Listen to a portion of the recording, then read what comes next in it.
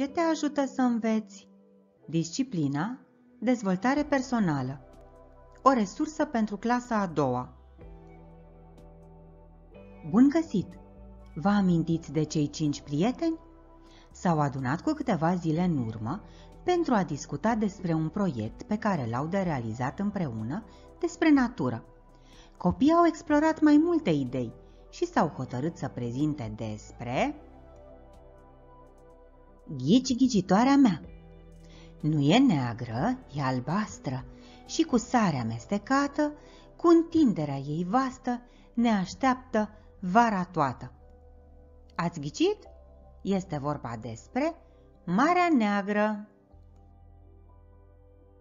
Copiii s-au hotărât să prezinte unde este așezată Marea Neagră, ce animale trăiesc, ce plante se dezvoltă și unde și cum își petrec oamenii vacanța la mare. Timp de două săptămâni au început să studieze, să adune informații, iar la momentul prezentării, copiii abia așteptau să împărtășească ceea ce au aflat. Dora a lucrat cu hărți. I-a arătat fratele ei mai mare unde le poate găsi, în atlase geografice sau pe internet. Ea a pregătit harta Mării Negre din imagine – pe hartă vor putea observa împreună cum marea este reprezentată cu albastru, așa cum apar apele pe hartă, în timp ce cu verde sunt reprezentate câmpiile, cu galben dealurile, iar cu maro munții. Cu cât e mai adâncă apa mării, cu atât se folosește un albastru mai închis, în timp ce, aproape de țărm, albastrul este mai deschis. Dora a marcat pe hartă și orașul Constanța, cel mai mare oraș port de la noi din țară. Albert s-a hotărât să vorbească despre animalele din Marea Neagră, pești, delfini, căluțul de mare. Pentru aceasta a făcut o vizită într-o duminică la Muzeul de Științe Naturale Grigore Antipa din București cu părinții. Pentru că au fost împreună, a fost mai ușor să afle răspuns la multe întrebări.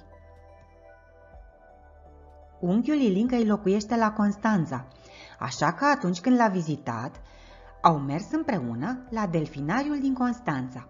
A fost fericită să vadă delfini, mai ales că aflase că în Marea Neagră trăiesc trei specii de delfini. Voi ați vizitat delfinariul din Constanța?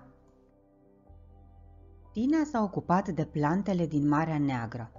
A căutat în enciclopedii, și a adunat multe informații despre specii de alge roșii sau verzi, chiar și despre ciulinii de baltă sau napani. Deși nu avea acasă, la biblioteca școlii a găsit multe cărți de știință. Ea a descoperit că algele roșii seamănă foarte mult cu coralii, dar aceștia nu sunt plante, ci animale. Andy nu a văzut Marea Neagră încă vacanțele și le petrece la bunici, unde ajută la treabă. A căutat să se informeze despre locurile frumoase de la malul mării, citind de pe internet, pe tableta pe care o avea de la școală și povestind cu doamna învățătoare, care i-a adus cărți și pliante despre aceasta. Împreună au plănuit chiar o excursie de studiu la Marea Neagră. Este timpul să discutăm în grupul clasei ce i-a ajutat pe copii să învețe. Mai întâi să aflăm care au fost obiectele pe care le-au folosit copiii. Amintiți-vă de Dora, care a prezentat localizarea Mării Negre.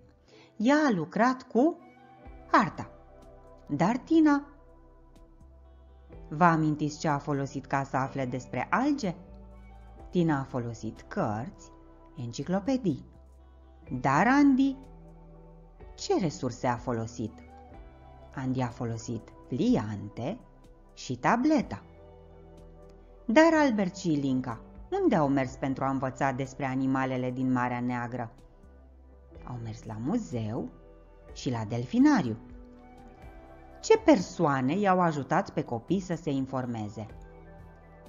Părinții, familia, învățătoarea, bibliotecara. Astfel, am vorbit despre obiectele care i-au ajutat pe copii să învețe, despre locurile în care au învățat și despre persoanele care i-au susținut în învățare. Lucrați în grup și realizați o listă cu locuri din care puteți învăța și voi. Locuri speciale. De exemplu, în localitatea voastră există un muzeu? Dar o casă memorială, adică un muzeu mai mic dedicat amintirii unei personalități care a locuit acolo. Dar o bibliotecă sau un club al copiilor. Căutați să învățați nu numai în clasă, dar și în afara ei, în localitatea voastră sau atunci când călătoriți. Așa veți învăța mai ușor și veți înțelege mai bine. Mult succes!